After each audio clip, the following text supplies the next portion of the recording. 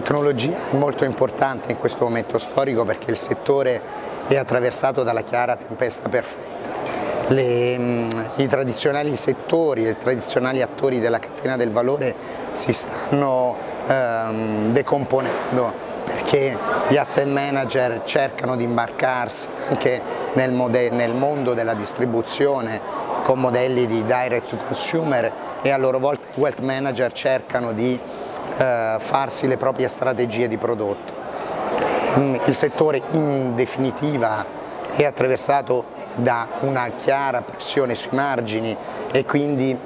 bisogna liberare le potenzialità e i benefici che la tecnologia e le varie forme di tecnologia possono portare sia ai distributori che agli asset manager. Nello specifico a livello di eh, modalità di advice, ormai eh, le persone, gli high network, gli ultra high network sono dei nativi digitali, le donne sono sempre più presenti nel mondo del, del risparmio con i propri risparmi e quindi i bisogni di queste nuove categorie di persone sono sempre più complessi e analitici e quindi vanno affrontati anche con l'aiuto diciamo, di qualcuno, di, di, di, qualcuno, di qualcosa di digitale, di qualcosa di tecnologico.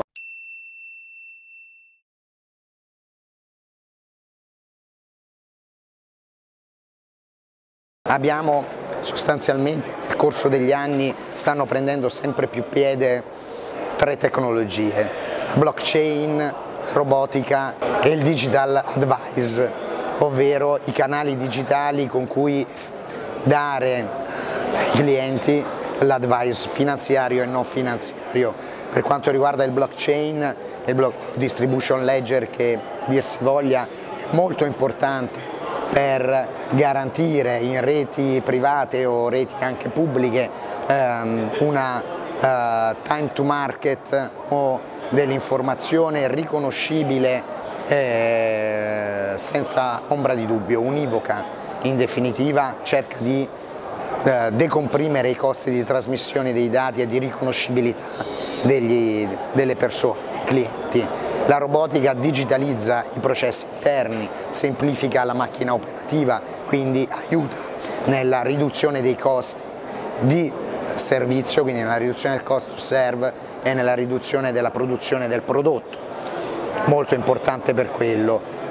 Invece le tecnologie nuove come l'artificial intelligence eh, aiutano invece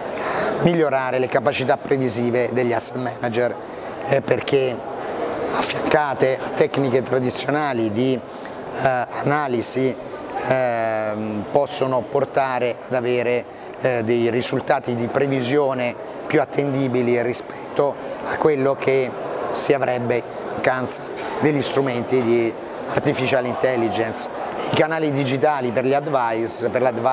finanziario sono una necessità ritorno al tema dei nativi digitali, ritorno a chi non vuole essere eh, intermediato da una persona e ha bisogno di avere dei contenuti di qualità senza perdere tempo nella trasmissione di questi contenuti.